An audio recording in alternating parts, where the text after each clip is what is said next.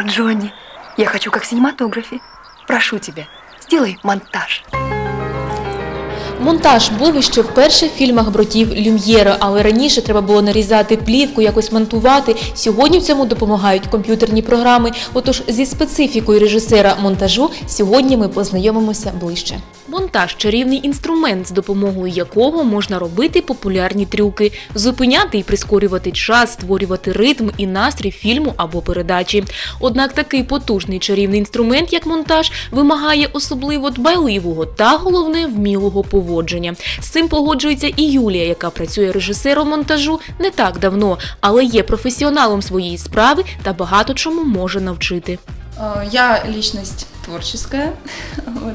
Э, Люблю э, заниматься и музыкой, и пением, и танцами, но в то же время мне хотелось чего-то технического.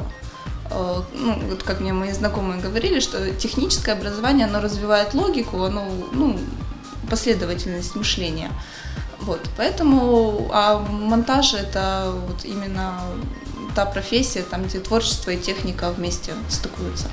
І дійсно у професії режисера монтажу потрібно володіти талантом скульптора, щоб правильно відсікти зайве в матеріалі, мати, як то кажуть, хороші очі та художній смак, щоб за допомогою технічних засобів правильно передати ідею творчої роботи. В первую очередь это творческая профессия. Поэтому э, вот это видение, э, как выбрать кадр, построить э, э, историю, вот, э, что такое, э, вот, что мы монтируем. Мы монтируем маленькие истории, э, которые надо рассказать э, в более краткое время. То есть, если, э, допустим, снимать целый день, вот там жизнь человека 24 часа, да, вот целый день снимать, то потом зрителю показывать каждый кусочек, этот 24 часа фильм, это было бы слишком. Вот, поэтому надо выбирать такие самые яркие моменты и их донести до зрителя. Більшість людей вважає, що професія режисер монтажу суто чоловіча, але це ну зовсім не так. М, По моему мнению, это профессия унисекс. То есть э, это и девушки, м, очень много есть девушек, э, монтажеров, которые э, ну, хорошо монтируют. У э, девушки, м, ну вот по личному опыту могу сказать, у нас очень много девушек именно женского пола монтажеров. То есть, э, когда я пришла, у нас был только начальник и один мальчик. Все. Все остальные были женщины. Все зависит конкретно от человека. То есть э, есть такие девушки, например, с мужским характером, для которых, э, ну вот по монтажу которых можно сказать, типа, это дело мальчик.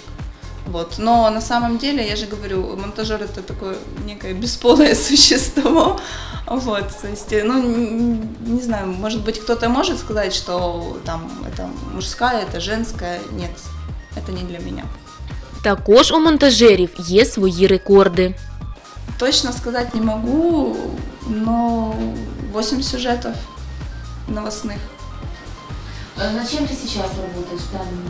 Сейчас я работаю над э, программой TV Travel. Это очень интересное наподобие Орела и Решки. Вот только финансы нашему телеканалу не позволяют путешествовать по миру, поэтому мы путешествуем по Николаеву, по области, по Украине. Там э, очень можно творчески подойти, э, то есть э, из двух часов видео э, материала, который оператор наснимал, надо сделать 26 минут. И иногда бывает, конечно, не хватает, то есть и иногда там меньше, то есть надо его как-то растягивать, чем-то перебивать, э, что-то новое искать. Но иногда этого видео настолько много, что хочется взять и это, и это, и там еще кусочек, а как бы хронометраж он э, подпирает. Хотілося б дізнатися декілька порад для початківців. Им не сдаваться, потому что э, упорство и труд все перетрут.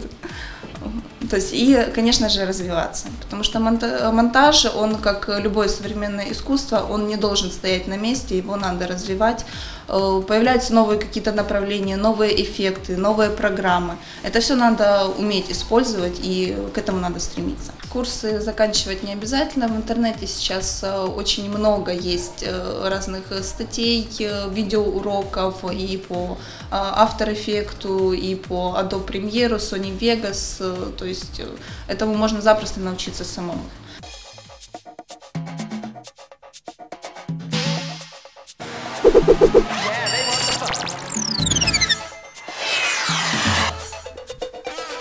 Всем привет, друзья! С вами Беннет, и это одиннадцатый выпуск моего видеоблога. И по многим, по многочисленным вашим заявкам этот выпуск будет посвящен программе Adobe Premiere. Я расскажу в ней в этой передаче, об азах использования этой программы. Как открывать файлы, как закрывать, как делать простейший элементарный монтаж, э, как импортировать файлы, как импортировать файлы из After Effects э, в наш проект – вот. И, э, собственно, покажу все это на практике и на простом примере соберем небольшой э, видеоблог. Единственное, что э, должен присутствовать опыт, ну, который ты в итоге потом накопишь. То есть, э, ну, лично как для меня, э, для меня сложно учиться э, на чем-то непонятном. То есть вот мне надо поставить конкретную задачу. Вот тебе надо сделать такой-то, такой-то сюжет. Вот есть материал, как бы, и все, я на нем тренируюсь. А если что-то такое абстрактное, то есть вот можно сделать так, можно сделать так, для меня сложно. Мне надо конкретно поставить задачу. А ще Юлія мріє про новинки монтажу, які дадуть волю її творчим знахідкам. интерактивный монтаж. То есть, э, ну, э, сейчас, э, ну, я не, я не знаю даже, как, э, ну, вот было, монтировали на кассетах, э, два магнитофона ставили с одной кассеты, записывали там на другую, потом его как-то, э, вот, э, но, ну, вот единственное, что это действительно, это бесконтактный монтаж. Я не знаю, как это можно физически оформить, но вот какого-то такого бы, наверное, хотелось бы.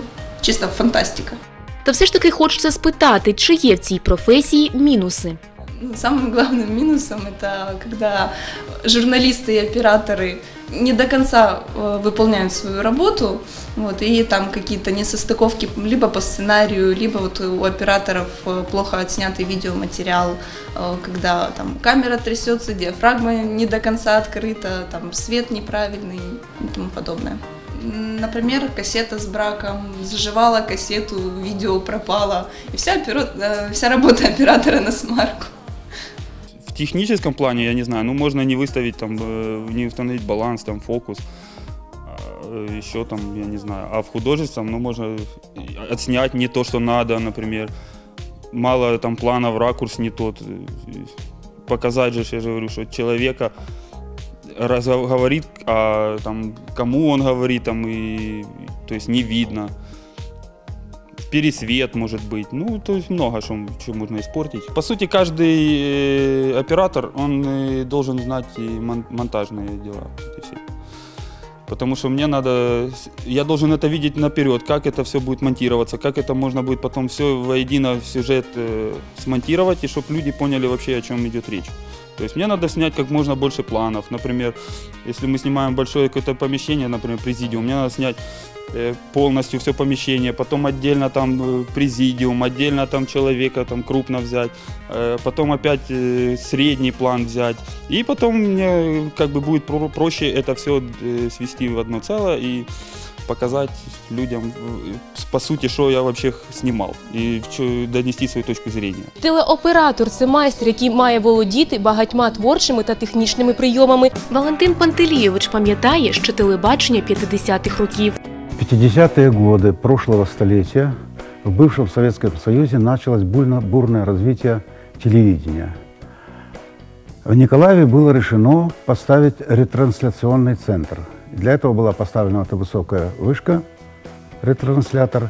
И вот то здание, где сейчас находится наши монтажные, то было и наверху. Вот на втором этаже был, были передатчики, внизу были их рипы и так далее. Но местная власть как и везде на местах, э, решила, что надо иметь собственное телевидение. Поэтому они любыми путями добивались для того, чтобы э, доби- э, иметь здесь собственное телевидение. В 1955 году начались, началось строительство, ну, сначала готовили документацию, началось строительство ретрансляционного центра. Сьогодні залюбки показує нам свої фотокартки та ділиться своєю багаторічною історією. За роки роботи де тільки не був, де тільки не знімав. І на южноукраїнській атомній станції довелося побувати, і навіть на славнозвісній яхті Ікар, яка здійснила перше кругосвітнє плавання. Безумовно, телебачення тоді і зараз це зовсім протилежні речі. Тогда еще было черно-белое вещание. Об- оборот- обороду- э, Оборудование было на лампах, требовало очень много света. Здесь были светильники, э, такие, которые применялись на киностудиях, лампы очень мощные, э, было много света, здесь было с- жарко, даже были случаи, когда в обморок люди падали. Потом появился свет со временем тоже. А сейчас вот пошла новая аппаратура на матрицах. Надо было знать параметры кинопленки. Вот, э, и у кинооператора было только кольцо фото, это, фокуса, кольцо диафрагмы и кнопка. И все остальное надо было думать. Были экспонометры, ты должен был знать, какая у тебя пленка, какой чувствительности. Надо было знать обработку пленки, надо было знать, как она, ну, знать фотохимию. Про такі камери, як в наш час, доводилося лише мріяти. Тебе все видно, и там на кнопках ты понажимал себе все параметры, и фокус получишь, и э, баланс по цветовой температуре получишь, и получишь все, тебе только за композицией кадра надо следить. Конечно, тоже надо думать. Дуже хочеться запитати, щоб стати телеоператором, потрібно спеціально навчатися чи достатньо мати хист і бажання. Если на э, должность редактора может прийти человек, который закончил филологический институт по литературе, языку и литературе, и работать, тут же включиться, э, некоторое время адаптируется, и он легче ему включиться в журналистскую работу. Режиссер, если он закончил театральный институт, то ли он актер, то ли режиссер, тоже ему легче, он изучал эти науки. Что касается оператора, их мало выпускают сейчас, потому что ограниченное э, учебное заведение. Надо знать свет, цвет, вот, экспонометрию, композицию кадра, монтаж обязательно надо знать. Должна быть логичность. Я сейчас не буду говорить о монтаже, там есть единство целого, там э, э, психологический фактор и так далее, и так далее. Начиная с немого кино, потом, когда звук появился, немножко по-другому методика поменялась. Это все, это все наработки изучали в свое время, психологическое восприятие и так далее, и так далее, э, что э, это самое, э, выработали теорию монтажа. Вот. И она там, конечно, как и композиция, если что-то нарушается, должно быть оправдано. А то обычно идут строго по... Вот. Конечно, творчество есть, это шаблонов нет, но есть наука, которой, которой надо придерживаться. Работа, в которой э, нужно развитие, это э, работа, в которой ну, выходят новые программы, новые возможности, э, то есть надо развиваться, это нельзя на месте стоять.